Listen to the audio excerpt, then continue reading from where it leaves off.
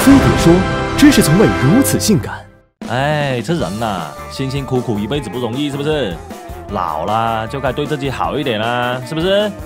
自己好了，儿女才会跟着好啊嘛。哎，我们的王阿姨自从吃了我们家的钙片了，腰不酸了，腿不痛了，心也不跳了啊呸，是心跳也有力了。哎，现在不跟他女儿去欧洲旅游啊？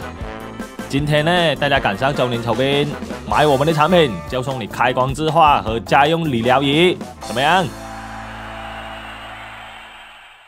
洗脑本质上是一种心灵控制，它会降低人的思考能力，让人们接受一套连洗脑者自己都不信的东西。据说最先使用洗脑术的前苏联谍报机构，用这项技术让打死也不说的战俘提供了源源不断的情报。如今洗脑术转了民用，还被各路骗子吸收。管你是劳苦大众还是知识分子，在他们面前都是能排队送钱的潜力股。洗脑骗术第一步，先要把你的欲望勾出来。他们和你唠着嗑，拐弯抹角地戳中你的痛处，让你产生较强的情绪波动，降低意识对不良信息的拦截能力。然后，不管你经历过啥悲剧，想渡啥样的劫，洗脑者都能想你所想的，把话题过渡到自己想要灌输的理念上。比如，在传销的骗局里，无论是家庭不和、婚恋失败，还是事业受挫，他们总能把破解关键落在多赚钱上，再以毒舌教练、知心大姐或是人生导师的不同人设。全心全意为你排忧解难。当然，这些伎俩只能控制一时，想要推动后续工作，还得靠长期洗脑。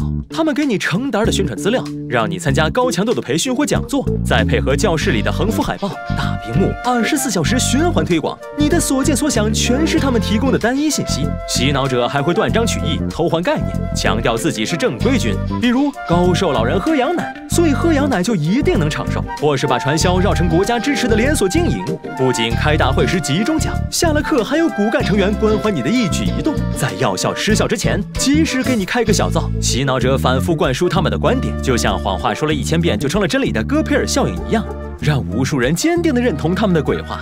此外，洗脑者还晓得一个人力量是有限的，发动人民群众的力量才能事半功倍。他们会让大家一起唱歌、做游戏、喊口号，营造一种群情高涨的集体氛围。同伴们的高度统一带来了一种群体压力，你会想努力的和他们保持一致。而且在这种环境下，人们也很容易陷入一种去个性化的状态，自己的行为不再受个人意志的支配，自我控制水平也会降低。你会按照其他成员或群体领导的意见行事，加入到重复、冲动或是情绪化的。行动中去，这时想靠自己幡然醒悟，已经不太可能了。在一环扣一环的洗脑术下，智商二五零的人也有可能被操纵。所以别嘲笑傻子人太多，骗子不够用。先想想有没有被套进去的亲朋好友，尽快把他们从群体环境中拉出来，知己知彼的进行反洗脑操作。实在不行，就去寻求专业组织的帮助。这可是一人中套，全家遭殃的大坑啊！